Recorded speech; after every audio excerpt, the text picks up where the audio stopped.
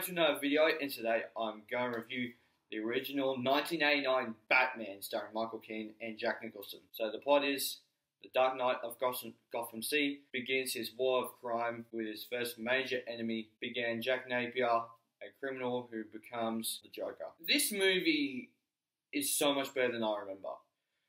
When I saw it for the first time, like a few years ago now, I don't really know when it was, but I didn't like this movie. I thought it was one of the most boring Batman movies ever made, which is sad to say that because I love Batman. Um, but watching it th- this t- this go around, this this movie was great. Tim Burton's vision in this movie is great, but I will not lie, and I and this is even though that these are these four are some of my favorite Batman movies of all time. Yes, even Batman Robin. I won't lie that they are a little long. It's not the Batman long, but it it but they are long, right? So because it's weird because like I was entertained for most of this movie. It's just that I was curious of how long I had to go. Yeah, this movie is so much better than I thought. But I will talk about Batman Returns in the next video, but the characters in this movie are so much better than I remember. Michael Keaton's portrayal of Batman is one of the best versions of Batman that we have ever gotten of the Dark Knight himself. And I am super excited for the Flash, for the Flash movie, which has just been delayed. It was most anticipated movie of the year, but it got delayed until next year so bloody mad. But that's the thing, because I can't wait to um, review Batman Returns because as I'm recording this, I've seen Batman 89, Batman Returns, Batman Forever, Batman Robin. I started, uh, I started in 1966, um, but I've watched uh, Batman Beyond Return of the Joker and Batman vs. Dracula. I'm about to watch Batman vs. Teenage Mutant Turtles and the Lego Batman movie DC Superheroes Unite, the uh, one based on the video game. But yeah, I'm super excited to review Batman Returns in the next video. His version of Batman, I can't wait to see his version in the DCEU because like I haven't seen any Ben Affleck stuff. The closest I've seen of Ben Affleck as Batman is in Suicide Squad, and I love the original Suicide Squad. I don't care what you guys say. We did get some late images of him in the Batman costume, and he looks awesome. I like. I do kind of prefer like more of the kind of um, like the Ben Affleck, Christian Bale type look, where you can move more in the suit. I think bring back Michael Keaton because I don't want him to portray the different a uh, different version of Bruce Wayne Batman. I want him to portray the same. So if you're going to do that, it's a great idea to bring back that old suit and that classic Batmobile, which we got in the teaser trailer for the Flash. I can't wait for it, and I don't mind Vicki Vale in this movie this go around.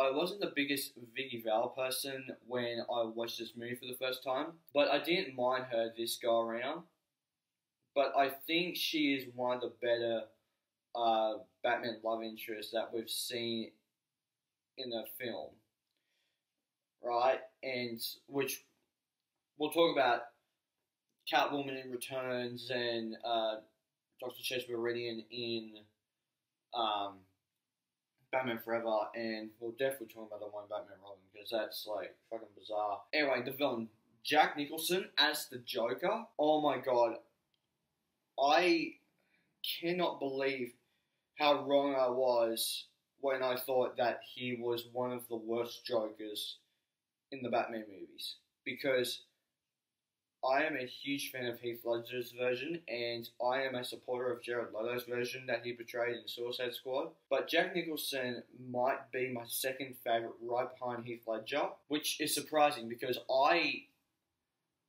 was not a big fan of this movie when I first saw it because like the way that I watched these four movies was kind of backwards, kind of backwards and forwards. I started with the first Burton film I saw was Returns. The first Joel Schumacher film I saw was Batman Robin. And then I went back to Batman Forever, and then I went to 89.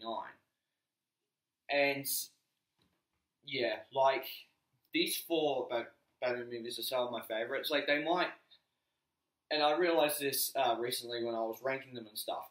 They might rank differently. Um, like one might be right down the bottom or stuff like that. But the series as a whole is one of my favorite Batman series because I've only seen about like maybe like ten minutes of the Dark Knight Rises, and I haven't seen Batman Begins at all. So I'm curious to watch the Dark Knight trilogy because I love the Dark Knight. It's my favorite Batman movie. I am curious to see how the rest of the Nolan trilogy keeps up that uh, that greatness that is the Dark Knight. And the score, I love Danny Elfman's music for this film. He takes the top two spots of some of my favorite superhero music for both of my favorite superheroes, one Marvel, one DC, both Batman and Spider Man. The original, like, the original score is two. The original score is two of my favorite superhero scores of all time. And like, I know they did like other things. He's done like the second Avengers movie and stuff, but those are not up to par as he is with like Batman, Batman Returns, Spider Man, Spider Man 2. They are just great, great scores. Now, rating, I am.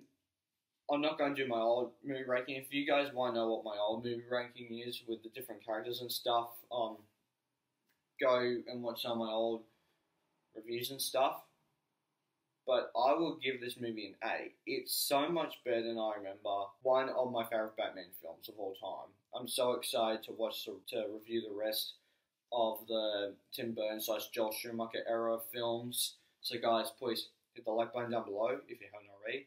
Hit subscribe. Also hit the little bell icon to get notified of future videos I make. I'll see you guys next time. Take care. Bye. Hey there. Subscribe to my channel. And also press this bell icon.